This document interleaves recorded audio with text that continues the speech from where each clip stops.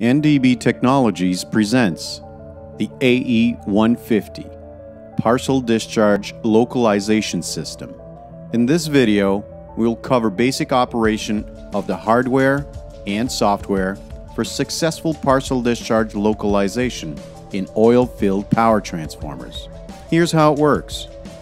The AE150 main module is magnetically mounted on the power transformer tank. An electric type sensor, in this case our HFCT, is installed around the transformer tank ground cable. The wireless phase synchronization module is connected to a line frequency voltage source that would be nearby. A computer is used to control and retrieve data from the AE150. In this case, we will use the wireless communication option. Acoustic waves are generated by PD inside the transformer and will be measured by the system's four acoustic emission sensors. Electromagnetic PD waves are coupled to the transformer tank and will flow towards ground. These PD signals are measured by the AE150 through the HFCT type sensor. The measured PD is then correlated to power line frequency through the use of wireless phase synchronization modules. The computer will then retrieve data and generate a detailed report. For the sake of this video, a demo tank will be used. One of the first steps requires to identify an origin point on the tank with X, Y, and Z axis. Refer to the transformer schematics or use a measuring tape to get the tank dimensions and keep the values for later. Apply a thin layer of acoustic couplant on all four acoustic sensors. Mount the AE150 on the tank and press each acoustic sensor to ensure optimal contact. Measure the location of the instrument on the tank from the point of origin and keep the values for later.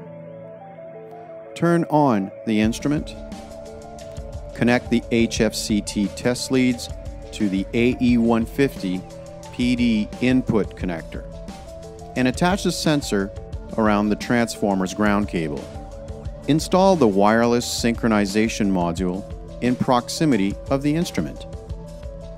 On the computer, click the Mirador TX icon to start the software. Click Create New to create a new test session. The file name is defined with the date and hour. Type in the transformer serial number.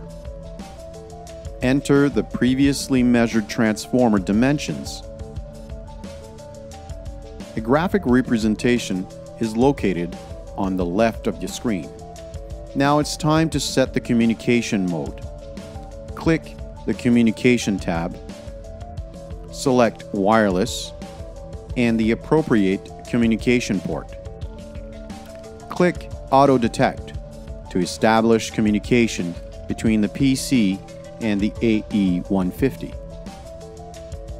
In the Position tab, type the previously measured AE150 position on the tank. A graphic representation is then displayed on the left of the screen with the tank dimensions and in green you can view the four acoustic sensor locations.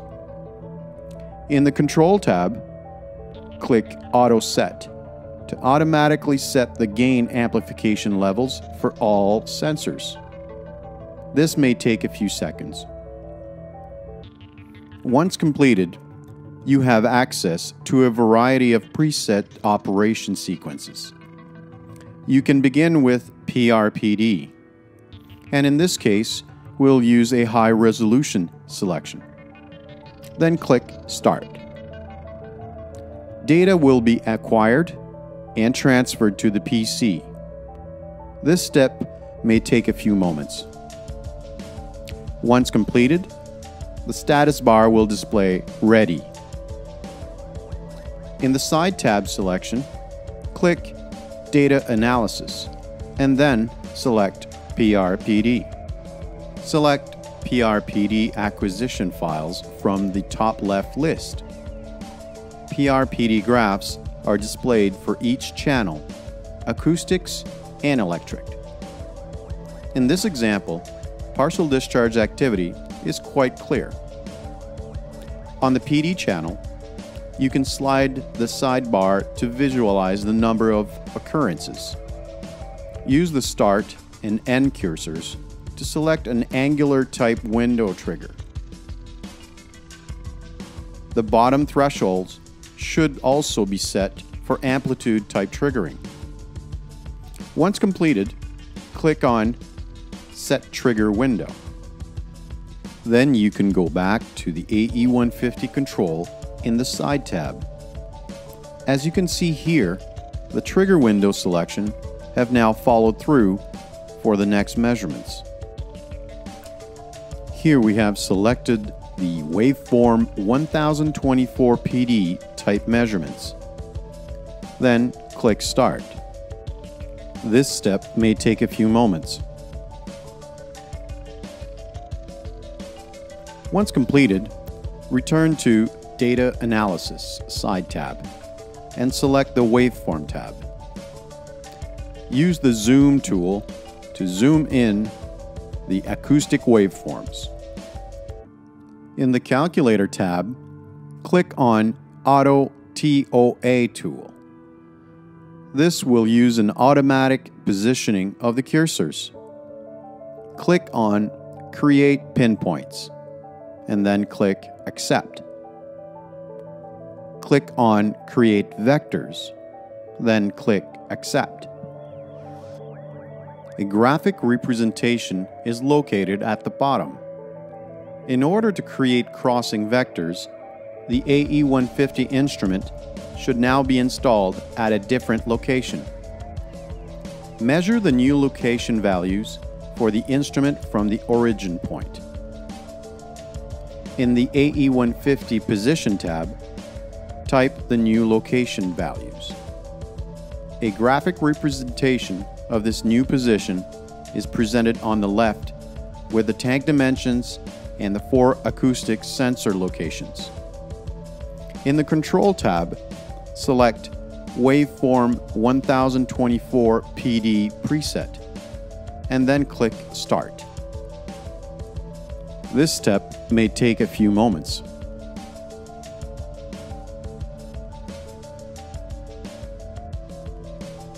Return to Data Analysis side tab and select the second waveform acquisition from the list. Use the Zoom tool to zoom in the acoustic waveforms. In the Calculator tab, click on Auto TOA. Click on Create Pinpoints, and then click Accept. Click on Create Vectors, and then click Accept. A graphic representation is located at the bottom. To visualize the end results, click the Localization tab.